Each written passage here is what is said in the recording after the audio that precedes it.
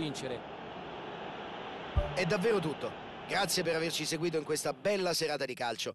Grazie a tutti e grazie anche al nostro Luca Marchegiani.